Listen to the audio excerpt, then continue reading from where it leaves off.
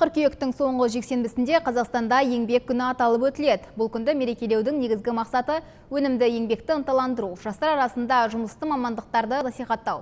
Қазақстанда еңбегі ерен жастарға арналып еңбек ардагері медалі. Ең жоғарғы дәрежелі ерекшелік белгісі Қазақстанның еңбек ері сияқты марапаттар тағайындалды. Мұндай шешім қоғамдағы еңбек адамының беделін арттыру мақсатында қабылданды.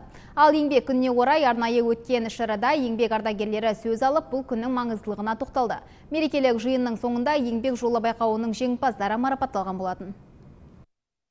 Орны да өзі де ерекше мереке. Өйткені жаңа айтқанда еңбек деген баладан еңкейген қарияға дейінгі бұл еңбек күн өсіп еңбекпен жетілгендіктен де бұл мереке айрықша мереке деп айтсақ болады. Бұл мерекенің мән маңызы да өнімдісімен ілгері басып өр қозған азаматтардың өнегесін алып көпшілікті адал табысты еңбекке жетістікке жетелеу болып табылады